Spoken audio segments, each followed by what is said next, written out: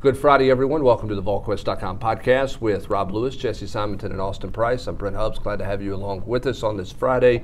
Tennessee takes on Georgia tomorrow. Million dollar question is what is Tennessee going to do at the quarterback position? Jeremy Pruitt has been coy all week. He said on Monday, uh, not going to give Georgia any secrets, not going to give a game plan away, whatever. Um, reiterated the same thing on, on Wednesday. What what do we think? Going to play two? What, what, what do we think is going to happen here? I think it's going to be Brian Maurer. I mean, based off of you know everything that's went on when even when we've been out there, you can tell that you know they put Maurer on the accelerated rate. Um, Jesse, you know, this has been Jim Chaney, you know, coaching him to do you know similar stuff out of the shotgun, out, out of under center, just different looks. I mean, he spent extra time with him, and I think when we've left, Maurer's gotten a majority of the work uh, with the ones. Yeah, I mean, all signs point to 18. Now, now did they stick with them? Because Tuesday, because Tuesday we kind of felt like, yeah, JG made the most sense. Play both of them. Yeah, but then you started hearing some stuff kind of behind the scenes a little bit, and then you go out there Wednesday, and you're like, man, this looks different, and this seems different because you know AP and I made sure that we kind of watched Jim Chaney the whole time when we were out there. Uh, and it certainly, you know, I think they're going to keep it coy all the way up right until you know kickoff. But as we sit here, you know, 24 hours before the game, I, I think you know my, my, my bet is is at 18, you know, he's going to get his first start against the number three team in the country. Rob, I felt like that that they were going to play two all the way at some point. Two, two quarterbacks, not not just number two, two quarterbacks all the way. Uh, at, in the game. I still think they'll end up being multiple quarterbacks playing in the game. What now, I kind of agree with that. What do you think? I mean, I, I, I lean towards that. I mean, I, I, thought that was what it was going to be. I thought it was going to be Jarrett would start and then they'd have a plan to play Maurer. Now, I mean, I, I think we're all hearing the same kind of thing. I mean, it kind of feels like Maurer's going to get the start. I mean, I think I think whether or not they play two to, if Maurer starts, I think it totally depends on how the game goes. does. Yeah, I mean, I think if he's doing okay and having success, I think they give it to him. I think if he struggles a little bit, then then you'll see another one. Uh, the bigger question to me is, I mean, do you see Shrout or or, or Jarrett? I mean, because if you don't see Jarrett in a relief role, then he you got to think he's done. I you know I, I lean the other way, Brent. I, if you're going to start 18. I think you give him every opportunity, unless you're going to play the other young quarterback, which is what Jesse suggested in that piece last week. I, I don't. I just. I, to me, it would have to be really dire to go back towards JG. If you, if you, it was one thing to pull him and then put him back in at Florida, but if he doesn't start this next game, to me, it's hard to go back to him unless there's an injury and you're in the football game. I mean, there are situations where you could go back to him, but I, I think you ride with 18 if you're going to start him on Saturday. So let's say they go that direction, and, and it is and it is 18. What does this offense look like? Because it's got to be different. I mean, or is this now check with me? because you've got to help a young quarterback. Because if, if it's him, if he thought it was fast at Florida, he's not seen fast to what he's going to see the start of this game, uh, uh, you know, tomorrow night. So if that's the direction they go, what does this offense look like now? Uh, I'm pulling up my piece here to just to have the exact stat here. I mean, part of it is it, it's going to it's going to have to look different also just schematically because I think it's he's only taken three snaps under center in, in the work that he's had in two games in so, his life. Yeah, and he and that was before he had never done that in high school. So I mean, obviously that's away. a little bit of a joke because he does it a lot in practice. But I mean, right in a game, he's not. In yeah. a game, so the likelihood is it's going to be some less 12 personnel. You're going to go more spread. I think obviously the QB run has to be involved because that's clearly if you're going to play him, that's one of his strengths, his ability to kind of move around. You're probably going to move the pocket a little bit more. Now that there's come there's some dangers with that as we know because if you if you flood the side to one side, you're making the read easier for the quarterback, but you're also cutting down the available options, and and it, and it you can kind of simplify it for the defense. Uh, but the, but the the most consistent offensive group through four games has been the tight ends. Yeah. Which you're gonna, which you're saying under that scenario, they may be shelving. You, they may be shelving. You're, not. Bit. You're not playing with the with the group of guys that's giving you basically your best chance in the run game and, and, the group that's been the most consistent in, in terms of being effective for now you. you can still go 12 personnel in the gun it's just teams are less likely to do that but they, they could go that avenue still if that's if that's you know the way they think they can still get the best success especially if they incorporate QB power and some speed option Well, I think we all agree, Rob. They've got to be able to run the football oh. somehow. Now, look, you're not going to line up and I think what's Georgia giving up fifty something 57 yards. yards a game. You're not going to line up and run against them and have great success. But you've got to somewhat keep them honest. You mean, can't it- throw it 11 times in a row, Yeah, was- you can't throw it 45 times with a true freshman quarterback.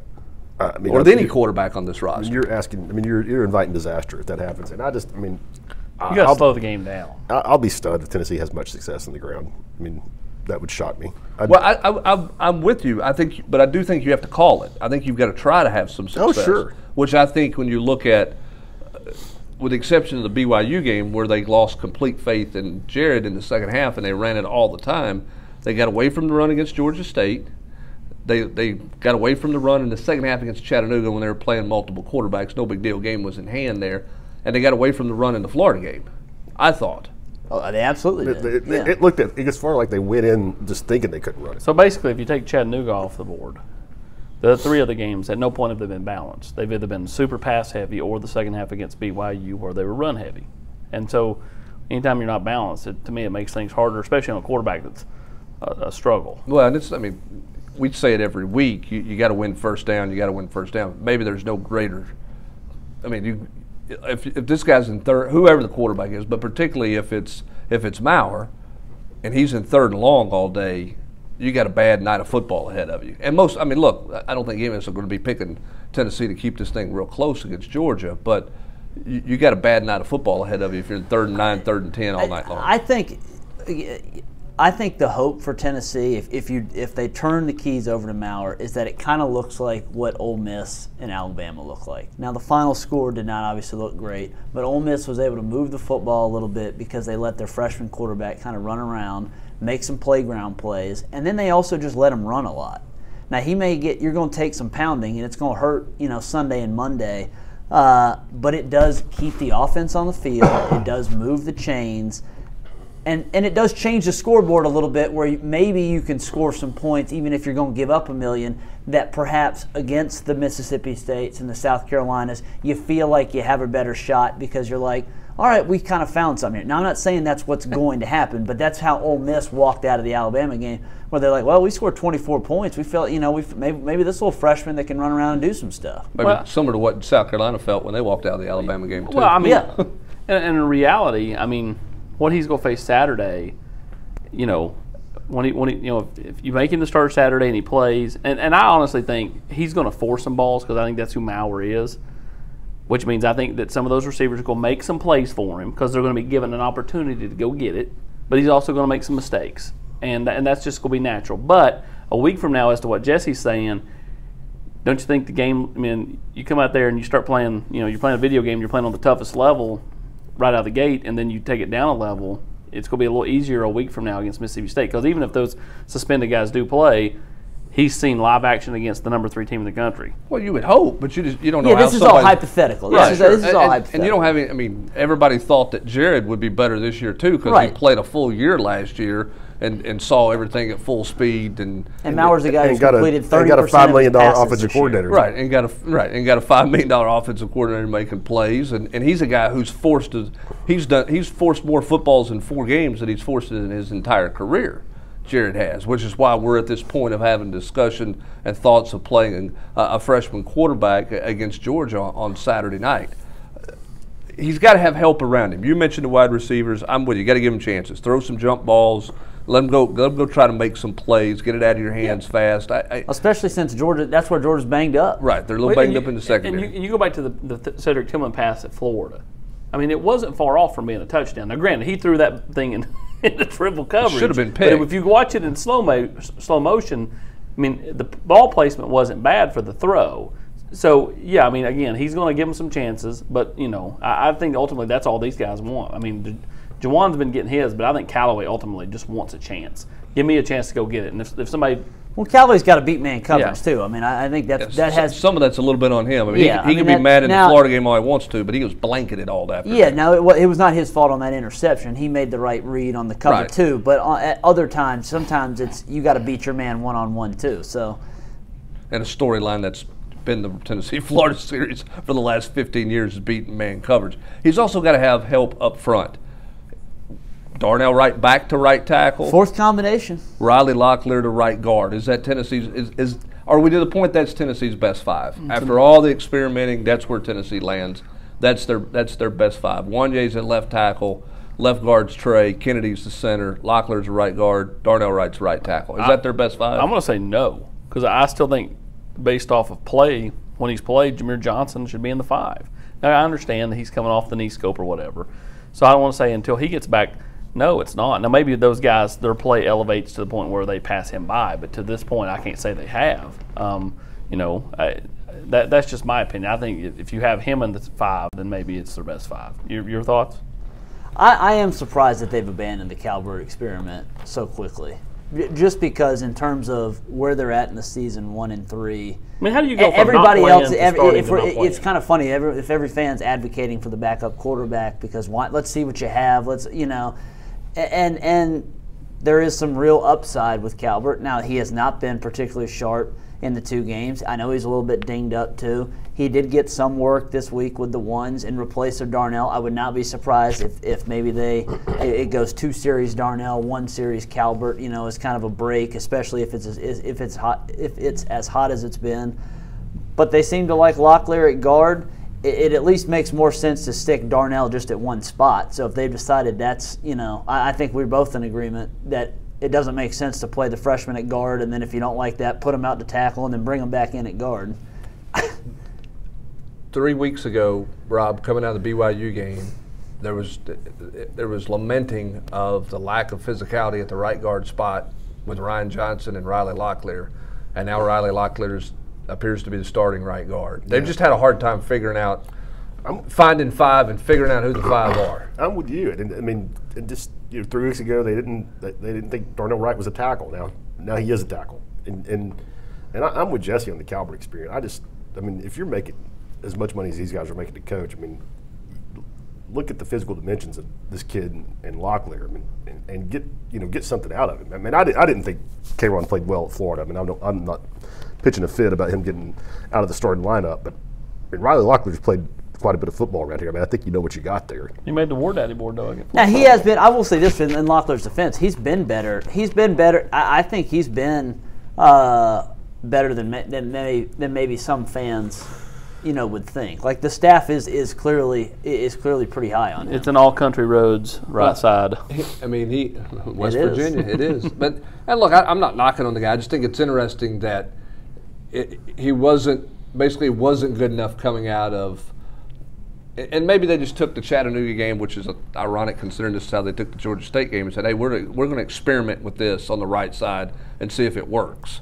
And they liked it well enough to start with it that way at Florida, but it didn't work at Florida for him. And, and part of that because you know, K-Ron got hurt and opened the door and an opportunity for, for Locklear to come in. And uh, they clearly were, you know, pleased with what he got done. And, and honestly, makes now now with with this move makes sense as to why when K. Ron did get hurt, they just slid Darnell to right tackle instead of bringing Marcus Tatum in at right tackle and keeping Darnell at right guard. well, we have absolutely seen that experiment. Yes. Well, I mean that one. I mean I even outlined But. Tatum's going to be your backup left tackle. Yeah. If if Jahmir Johnson can't go, he's going to remain your backup left tackle. Particularly if Wanya has a hard time physically, he's got the he's had the ankle in the Florida game. He's had two weeks, but you know conditioning's been a bit of a concern there with him. Now they want him to play the whole game, but if he can't, then they're going to go Marcus Tatum at, at left tackle. But it, it feels like Marcus Tatum's the last tackle on the rung of tackles Yeah. kind of where he's at right now, um, and while they wait on Jahmir to get back. I, I mean, I don't get the sense Jahmir's back, going to be ready to go. we haven't seen him take a practice snap this week. I'm interested to see with Marcus Tatum. You know, he's played the four games this year.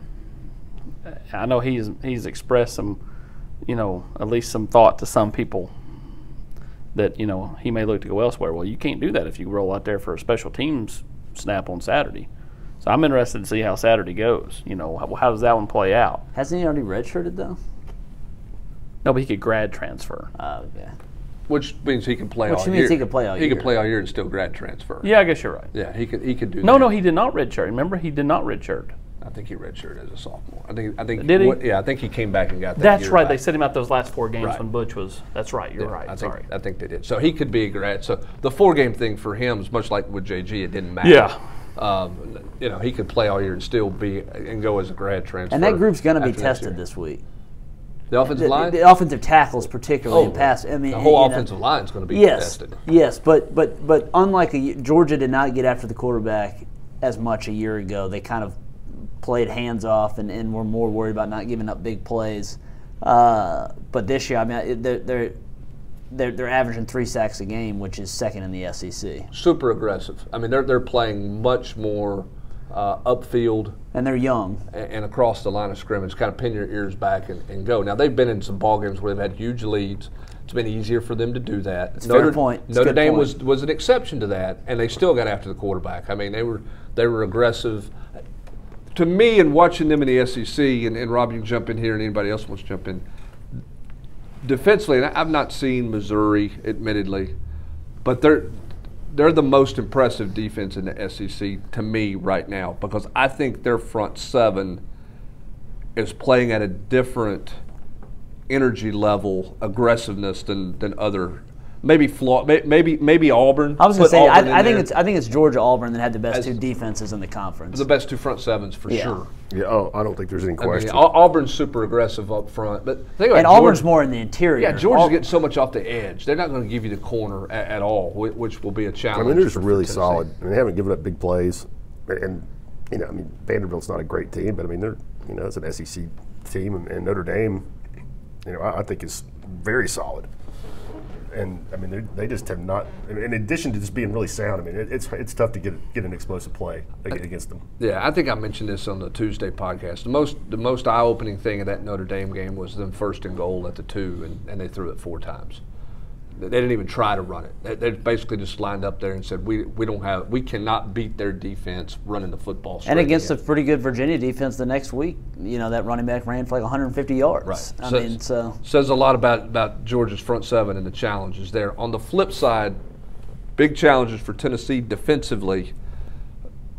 We're going to see, I think, Tennessee be creative up front on the defensive front, trying to generate some pressure, trying to generate some different looks and things like that.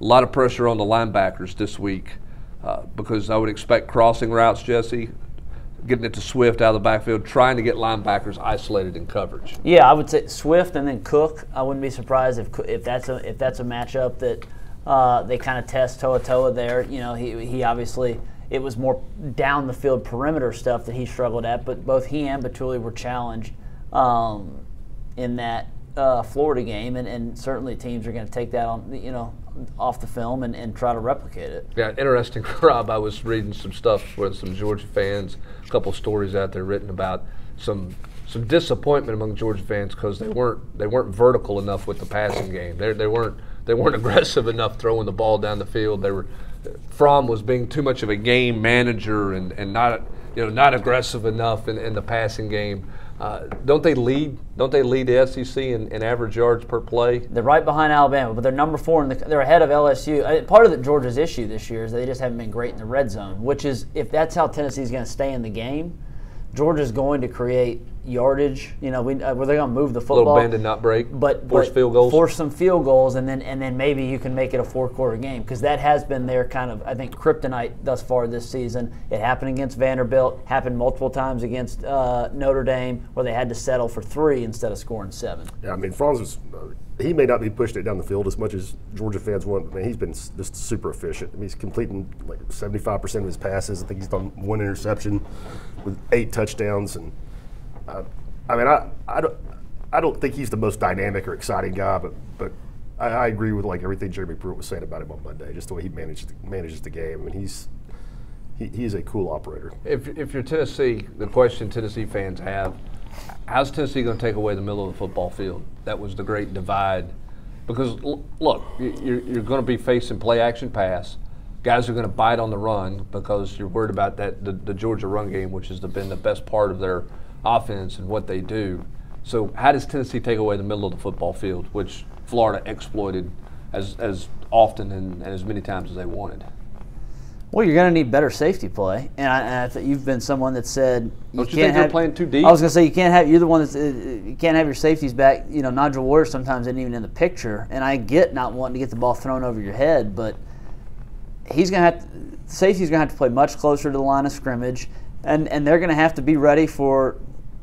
Eli Wolf has, has had several catches, Woerner, but then specifically uh, some of those seam routes to, to, guys like Demetris Robinson and some of those other the, freshman Dominick Blaylock has been heavily involved, uh, and they're going Tennessee's going to have to tackle, and that's kind of what that's how Notre Dame stayed in the game early. They tackled on the perimeter, and, and if you can do that again, you can kind of shorten some series and at least shorten the game a little bit. Can Tennessee line up, put their corners on an island, and take away the middle of the football field and take their chances on the outside?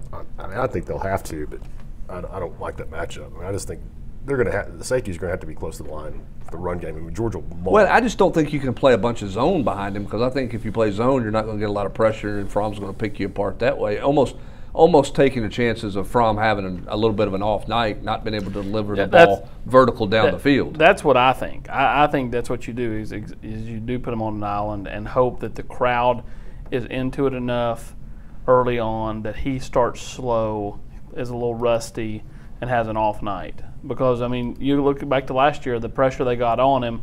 I mean, they still made some plays, but he he, he did not have a great game um, against Tennessee. Tennessee don't have the exact same cast of guys trying to get to him this year, but I mean, you can still find a way to make pressure. You just put your guys more on an island when you do that. They're going to need Darrell Taylor to do the same thing. I mean, that was Isaiah Wilson is an is a legitimate NFL offensive lineman. You know, day two, day potential day one pick. He gave up three sacks all season. Two of them were to Taylor. So they're gonna, they're going to need DT. And DT only has one this season. You know, he met he met with us earlier this week saying that he's going to play with more effort, more relentlessness. You know, Saturday would be a good time to start. Yeah, I think Tennessee's got to create pressure and create some havoc that way because. I just don't think you can sit back and play coverage against him. I, I just I, I think Fromm will, will absolutely destroy you if you're sitting back playing coverage and you know, trying to, you know, have zone fits and, and all the passing matching combinations and everything else. I just think that I think you'll have a field day with that. So I, I think you you take your chances on them missing some plays, similar to what they did a, a, year ago against Auburn. I mean, what did Auburn have? Two drop touchdowns in that game on, on deep balls that were potential game changers. They just instead didn't connect, they just didn't make the play.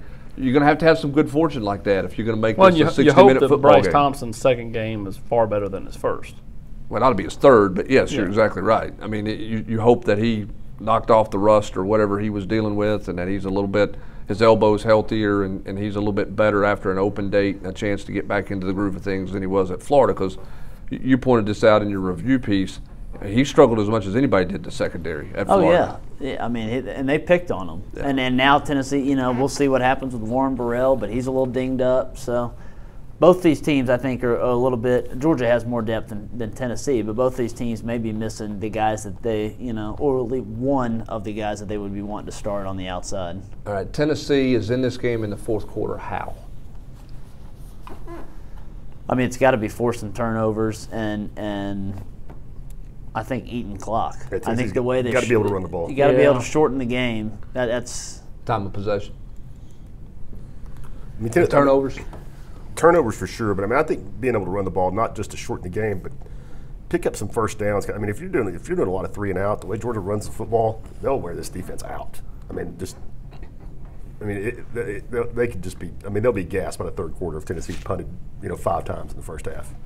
I agree with that. I mean, I think they can wear. I think they can wear Tennessee down quickly if if if you're not careful. I think Tennessee's got to find a way to get out of the first quarter. I mean, so many, so many times in recent years, Tennessee has had this negative play early that has just Good point. rocked them in these type of games. Well, And think, think about. It. I mean, Florida a year ago, turnover, turnover, boom, out of the game. I mean, look- Georgia look- State to open the season, boom, first Yeah, man, possession. last year Georgia, you, you forced a fumble, the tight end picked it up, and ran in for a touchdown. Yeah. I mean, you know, little things like that, dude. They just, you know, had Yeah. a huge effect. I mean, you, you've got to have help, no, no question. I'm with you. I think surviving, because I think there's a little bit, and, and Pruitt has talked about this without specifically saying it, in terms of being comfortable with losing. I don't know that that's right.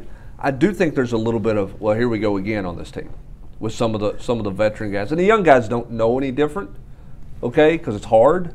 But I, I think there's there's been some, and, and I think you know Jarrett's guilty of this a little bit of something bad happened. Here we go again, and, and Tennessee has got to survive early.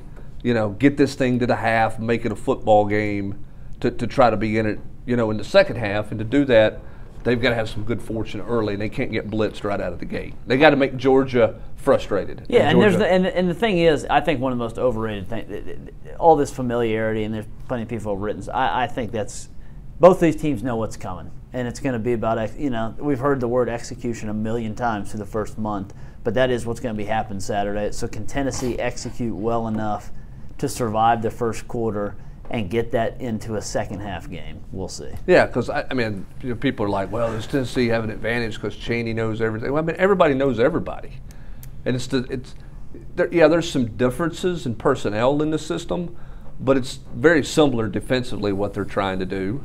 And Georgia hadn't deviated a lot from what they were doing with Jim Chaney offensively. I mean, these guys know each other all too well. It, it is going to go back to execution. Can Tennessee execute early? Can they get settled into the football game and sort of catch their breath?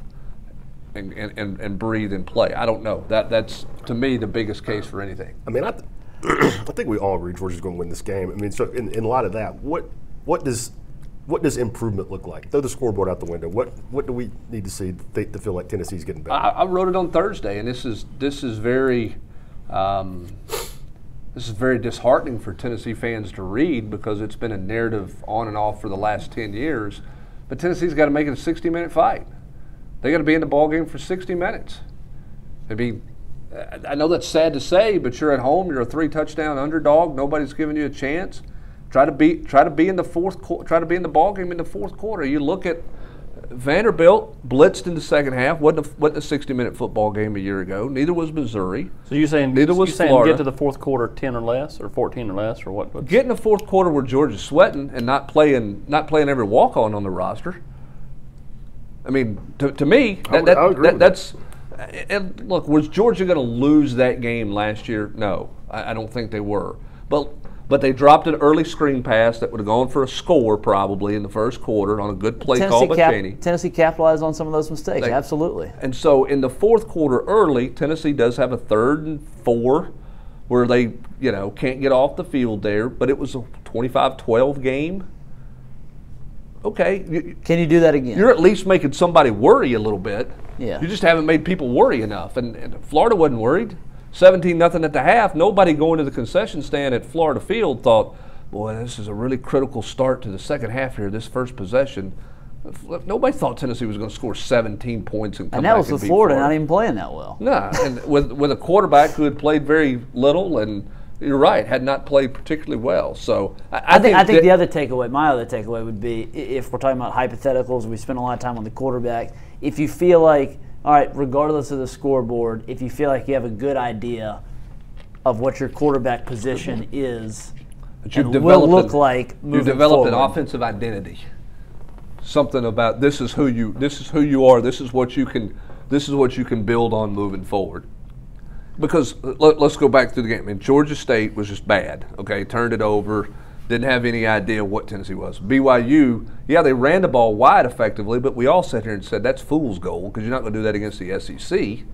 So you've played four games and you've not come out of one of those games where you say, you know what, they're, that that's that's who they're becoming offensively. yeah, you're right. I mean, ran for 50 odd yards at Florida. So I, I think I think his his point as well as making it a 60 minute fight, I would agree with. If you can come out of the game and say, hey, you can build off these two or three things, Austin, heading into Mississippi State, making it a winnable football game, South Carolina a winnable football game. I think that's probably a win for Tennessee, regardless of the score. Yeah, I agree. I mean, you know, I, I think for this offense, if if Maurer goes out and, and just kind of whether he plays well or not, if he gets the command of the of the guys around him, and and he can make you know Jeremy's always talking about making the other guys around you better. If, if he can, even if it's incrementally on Saturday, I think that goes a long way to into the next week against Mississippi State, which you know can be a winnable game for Tennessee. It's a huge loss for Tennessee, regardless of the scoreboard, if we're having a conversation on Tuesday about who should be the starting quarterback at Tennessee. I agree. if you haven't found some answer there by week five. If it's if it's open competition now, is it going to be? You know, they're going to change. You know, quarterbacks. I mean, if, if you don't come out of this game with this is who we are, who this is who we're going to be offensively from an identity standpoint, and this is our trigger man, this is our quarterback, then I think that's I think that's worse than getting blown out in the scoreboard. You know, against I've been Georgia? I've been saying because I don't think it gives you a chance to win against Mississippi State or South Carolina if you're still trying to figure out what you are offensively and who your and who your you know personnel is offensively. Yeah, my, own, my my only counter to that would be, the, w- what if you end up having to play both freshmen and that's the way you roll? Like that is that is that could that qualify as an identity? If you say, all right, we're definitely moving on from number two, we're going to basically. That I we're say- not going to know who we're not going to know who our quote unquote guy is until maybe South Carolina. It's like three, you know. I just got- think I think somebody's got to give you some hope coming out of this game.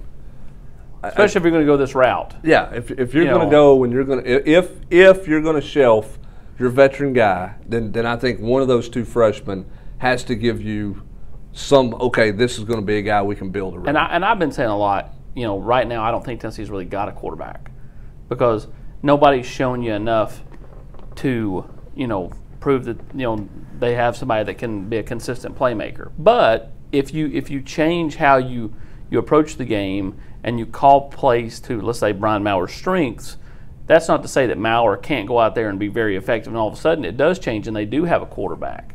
But to this point, that's been like where they've been so far behind their opponent, it's not even funny. So, you know, if you're Jim Chaney, again, this is why you get paid 1.5 million. You know, getting whoever you stick out there, if that's Maurer, putting him in the best you know position to be successful, calling plays that are to his strengths, whether that's check with me, a lot of RPOs, or whatever else. Um, you know, I, I think you've got to be able to walk out of this game, you know, feeling like, okay, we have somebody we can build around. And, and right now, I don't think there is a guy to this point. I agree with that. That's why I think that's important to say success in this game. All right, let's get to recruiting right quick. I know we're going to have a shell on this uh, with names in the war room. We're going to have more on, on Saturday, kind of who's projected to be here. What, what's the what's the big storyline in recruiting for Tennessee for this weekend? Well, I had it. In, kids. Well, I, I had it in the war room. I, I just think that the the tenor of the weekend has changed in terms of it was supposed to be the big fish. This was, if you looked at it a month ago, six weeks ago, they wanted it to be a night game. What is a night game? They wanted it, you know, this to be the marquee recruiting weekend. Well, it's still pretty darn important. It's just di- it's just different. And instead, it's they have they're going all in on this in-state crop, and by hosting three kids from the same high school in Memphis, all on official visits, also getting Amari Thomas tentatively on campus for an unofficial visit. Reggie Grimes, who you're trailing South Carolina, you can't just punt. No matter that, I know there's disagreements within the building here about you know what position does he play, upside, what. Tennessee needs more athletes like Reggie Grimes on their team. So they're going all in on, on the in state guys, and they need to make a good impression this weekend, regardless of what happens on the scoreboard. so the, the, the three Whitehaven kids, French, Eason, Are- and McDonald are all coming. pri- you know, huge priorities. Amari Thomas, if he gets here, huge priority for Tennessee and Grimes. The, the five in-state guys Well, yeah, would and be here- the tenor. here's the thing: if you're Arkansas and, and, and Mississippi State, you're just trying to survive the weekend because Tennessee's shooting their shot with three officials. You know, I mean, they're going to lay it on, lay it on thick, and and you know, and I this is the first gonna, one for all of them. They're all still going to Arkansas. Yeah, they're all, they're all going to, they're, but they're going to try hard to. It's an interesting play to, to, to get them all. I mean, that's Well- all you can get them, I'm sure. Well, you know, they are off, and I think that goes a long way to this. 'Cause When- you can get 'em here when- early When they on have Friday. their regular bye week, I don't think Tennessee's at home. Right. And so um, they do have a bye week, or it just uh, it's not even a bye week. It's just an off week because no one was going to get ten games. And having an official on a game week where they play on Friday night means you're not getting them here till Saturday, and they have a shorter trip because they're getting back out of here on Sunday. Yeah. Because you can't fly them in privately after their game or anything like that. You're not going to fly in from Memphis at 11:30 at night because you can't get that flight. So that that makes a, a lot of sense uh, in, in that regard. There, they're also going to have the Simpson kid in. He tweeted out. Ty Simpson will be in town. I know it's Um, early for him, but getting him on campus is important as many times as they can. His dad's got the ties to Mississippi State. You're looking for a bell cow Mom quarterback went here, recruit. I believe. Right. You're looking for a bell cow quarterback recruit in the class of 2022, and he would he would be the one, right? Yeah, no, there's no doubt. I mean, eh, to me, like Tennessee's not produced a top shelf quarterback in the state in you know what, 25 years at least. I mean, time. like you know, and all of a sudden you've got a guy that could potentially be the the top quarterback in the country, if not a top five quarterback in the country. You have to find a way to, to you know get in early and stay in there and, then land this kid. Whoever you know, no matter what happens with the program, you know, the, whoever it is has got to land him. Yeah, you got. you- He's got. He is of huge priority for Tennessee. So a lot of things going on in recruit, football recruiting, football on the weekend, uh, and then Um, yeah, I guess we need to circle back to that, Jesse. Um, we'll get to basketball in just a second. We, we had not touched the, the, the Jeremy Banks situation and the Jeremy Banks deal with, with, with Tennessee and, and all that happened with that. Uh, just quickly and kind of summation of that, we had a little bit of it in the war room. We talked about it some on the message board. Just a bad look for Tennessee. Uh, Jeremy Pruitt saying on Wednesday on the teleconference, you know, from an organizational standpoint, they have to do a better job of knowing all these things are going on. Um, just nothing about that is a positive look for Tennessee. Should have suspended him. Why didn't you? I don't think we're ever going to get an answer from Jeremy Pruitt on that. Um, I don't know. I mean, I mean, I think you're taking a PR have suspended hit. You're gonna, yeah. I mean, you're gonna, you're gonna, you're gonna keep. I don't want to say keep taking it; it'll go away. But it's been an ugly PR hit for you this I mean, week. that- It's been horrible. And I mean, the, what makes it worse, I mean, you kind of, kind of touched on it. it, is totally unavoidable. I mean, it was totally avoidable. I mean, this should have never, something that could have been handled with absolutely no fuss whatsoever, it blows up and, you, you know, it becomes the biggest thing that you've known. I mean, you got- the biggest thing you've been known for this whole You football got season. ten. You got ten thousand people on staff here, and a million. And uh, this is why you have ops people. You know, this is why you have folks that behind the scenes, it's their jobs to to to, to kind of have their p's and q's on all this stuff. And like Rob said, it was avoidable. What what Banks said was particularly ugly. You know, Jeremy was clearly half asleep, and and Yeah. what, what what did not understand was clearly confused. Took out his frustrations uh, and didn't was not a great look. But the, the bad look is Tennessee a not being prepared for that in the first place, and then the fact that that what Banks said was just despicable and, and was a poor representative representation of the university, especially coming on the heels of what happened a couple Bryce weeks ago with Bryce Thompson. And then, of course, you go back to the Kenneth George thing at spring break, and you know, I mean, it, it, you're right. It's not a good look. Um, you know, I, I go back to the. You know, we've talked about this. I mean, once Jeremy Banks injured his ankle before the Florida game, the smart play would have been just to. Get out in front of it and Get suspend him and say and that hey. Yeah. we, we, uh, there's a video that's going to come out. There's going to be some ugly things that are said. We find it unacceptable. He's suspended, and we're going to learn Yeah, from You this could, and or move you could have just said violation of team rules, and then Yeah. when this video comes out, then you look like you were Yeah, being proactive. You know, people were like, "Oh, well, that's what he was suspended yeah, for." mean, the- yeah. the only- the and only instead, way- you're fighting on your heels about Right. it. The only way to get out in front of it would have would have been to suspend him, which I think we all agree he should have been suspended. If if you come out and say the statements you said before the video comes out and you haven't suspended him, you, you look bad too. I Oh, mean, for sure. I agree with You know, I, I think I think the look bad, the bad look here is is is threefold. One, Banks looks bad because of the way he handled himself. Tennessee looks bad because they were unorganized, to Jeremy Pruitt's own admission, that they didn't know what was going on there. And three, Tennessee looks bad because their response to it is in-house punishment after and the it fact. just, it just really the whole episode just reflects poorly on the, on the culture of your football program. When and like AP said, when you when you bracket it with you know the Bryce Thompson thing a couple weeks ago, And then Kenneth George. and just And everybody forgets about that one. I mean and. It's just, I mean, these are the big, these are the biggest headlines you've made as a as a football program. Well, these are the headlines you're going to have to address in recruiting. You know, I mean, you, you, you know, you're not. You got enough issues in recruiting at a one and three start and not being competitive. You don't.